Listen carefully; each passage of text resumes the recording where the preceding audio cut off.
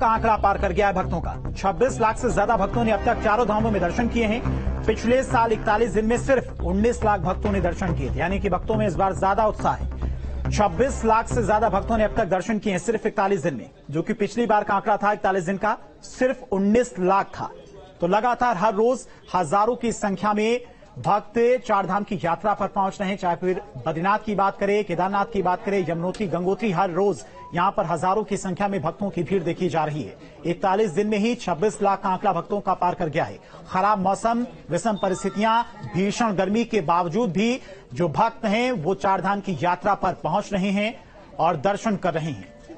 कई जगहों पर जाम की स्थिति भी देखने को मिल रही है। रात में नो एंट्री भी है। उसके बावजूद भी भक्त घंटों जाम में फंसकर कई विषम परिस्थितियों का सामना करके भी दर्शन करने के लिए पहुँच रहे हैं। देखिए यात्रा भी बढ़ रही है और आप जैसे देख, आप देख रहे हैं कि दुर्घटनाएँ भी हमारी बढ़ रही हैं। तो चूँकि पहले से हमारा ये पर्वतीय राज्यों में पर्वतीय जो हमारी सड़कें हैं, इसमें रात्रि दस बजे से लेकर के और सुबह तक का जो है पाँच बजे तक का हमारा जो यात्री वाहन था, इसके लिए पहले से प्रचुर था। क्योंकि यात्रा बहुत ज़्यादा मात्रा में तो इससे बहुत ज़्यादा हम लोगों ने ज़ोर नहीं दिया। लेकिन जो लगातार जो दुर्घटनाएँ बढ़ रही हैं, उसके लिए हम जो है जनपद विभाग ने हमने स्पष्ट कर दिया है कि रात दस बजे से लेकर के सुबह तक जो है वाहन नहीं चलेंगे, यात्री वाहन नहीं चलेंगे। जो हैवी लोडेड वाहन है, जो माल वाहक वाहन है, उन पर कोई प्रतिबंध नहीं है, उनके लिए रात किया है। कह सकता हूँ कि इस बार की चार धाम यात्रा अगर पिछले वर्ष से कंपेयर करिए तो करीब यात्रा का आज इकतालीसवां दिन हम कह सकते हैं। इन इकतालीस दिनों में लगभग साढ़े छब्बीस लाख यात्री आए हैं। जबकि गत वर्ष में अगर हम इकतालीस दिन का कंपेरिजन करें तो साढ़े उन्नीस लाख यात्री थे। लगभग सात लाख यात्रियों की संख्या में वृद्धि हुई है।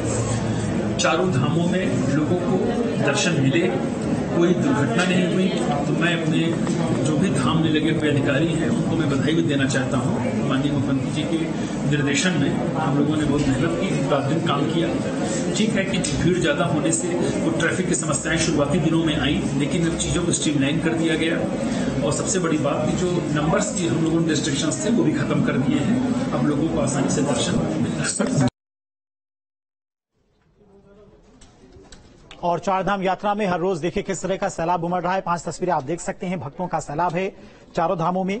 आलम यह कि पुराने सारे रिकॉर्ड टूट गए हैं। आंकड़ों की बात करें तो इस, इस साल इकतालीस दिन में 26 लाख से ज़्यादा भक्तों ने दर्शन किए हैं जबकि पिछले साल इकतालीस दिन में सिर्फ़ 19 लाख का आंकड़ा भी भक्तों का पार किया था। इसके अलावा यात्रा को लेकर रुद्रप्रयाग जिला प्रशासन ने अहम फैसला लिया है। मानसून सीज़न के चलते रात 10 बजे से सुबह 5 बजे तक बद्रीनाथ और गौरीकुंड हाईवे पर वाहनों की आवाजाही पर रोक लगाई गई है। प्रशासन हालात पर नज़र बनाए है। श्रद्धालुओं की सुविधा का ध्यान रखा जा रहा है।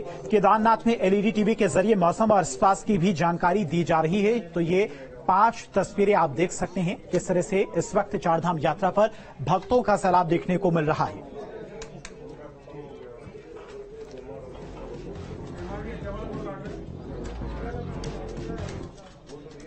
बढ़ते आगे बड़कोट से बड़ी खबर, पेयजल संकट को लेकर ग्रामीणों का आक्रोश देखने को मिल रहा है। तो बड़कोट से